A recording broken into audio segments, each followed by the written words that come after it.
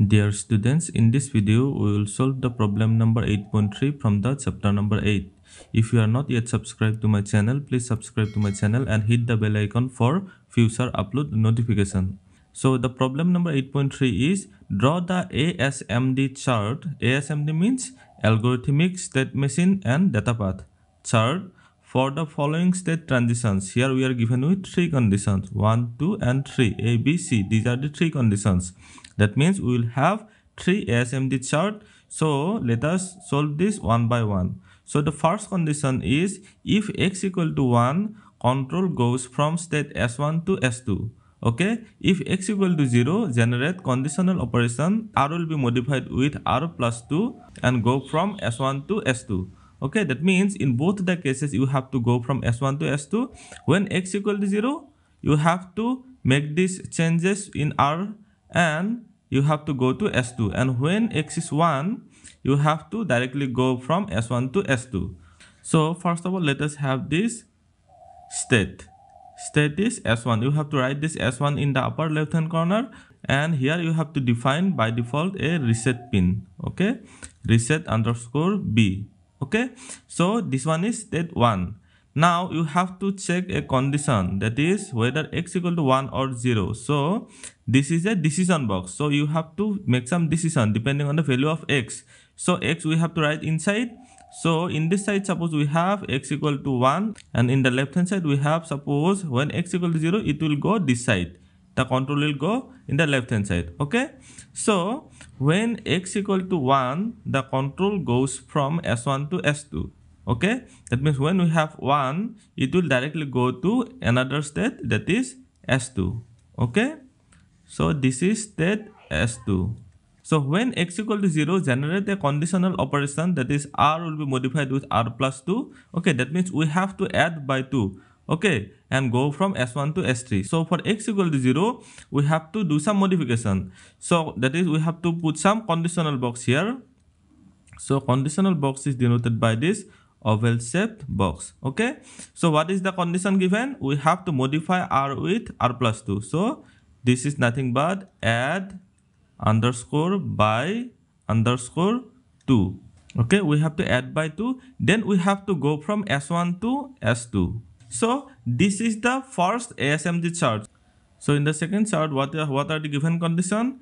So if x equal to 1 control goes from s1 state into s2 okay? Then to s3 that means when x equal to 1 the control sequence will first go from state s1 into s2 and from s2 it will go to s3 and if x equal to 0 control goes from s1 to s3 so what we have to do we'll have to first of all define this state box.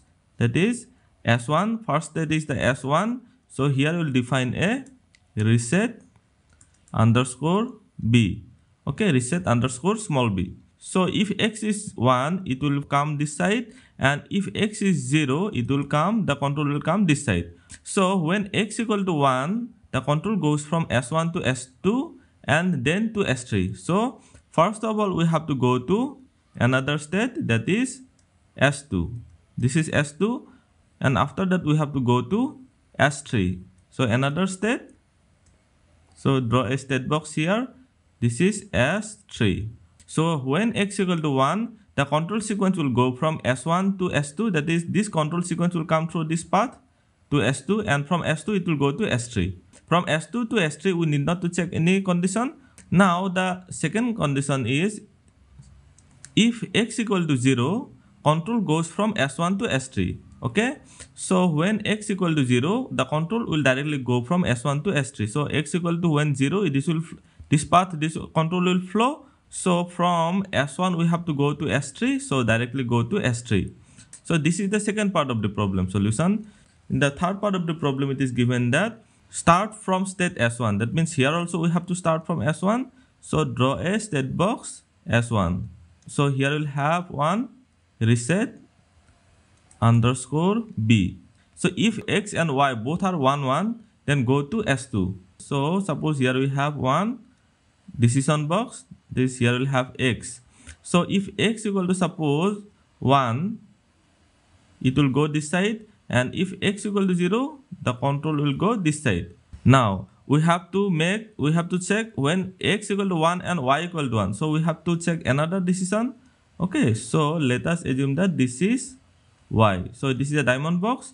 So when y is equal to 0 suppose it will go this side. And when y equal to 1 it will suppose go this side you can take any any one okay? In any direction you can take this 1 and 0 values okay? So just for simplicity i am taking it 1 in the left hand side. So when x and y both are 1 1 it will go to s2 x is 1 it will come this side and y it will check. When y is 1 it will come this side and it will go to another state that is s2 this is s2 now if x is 0 and y is 1 okay? It will go to s3 when x y is equal to 1 1 s1 goes to s2 when x y is equal to 1 0 we have to see. When xy is 1 0 it will go to s1 okay? That means the control sequence will go from s1 to s1 okay? Now the third condition is xy is equal to 0 1 it will go to s3 so when xy is equal to 0 1 the control sequence will flow from S1 to S3. Otherwise go to S3. So for the other case also we have to go to S3 that is what we are left with? We are left with 0 0 when x y is equal to 0 0 this is the otherwise condition. So what will be the condition? It will go from S1 to S3 so we have checked this condition when x and y both are 1 and 1 x is 1 here and y is 1 here it will go to S2 so this one is done. Next we have when x is 1 and y is 0 it will go from s1 to S, s1 okay?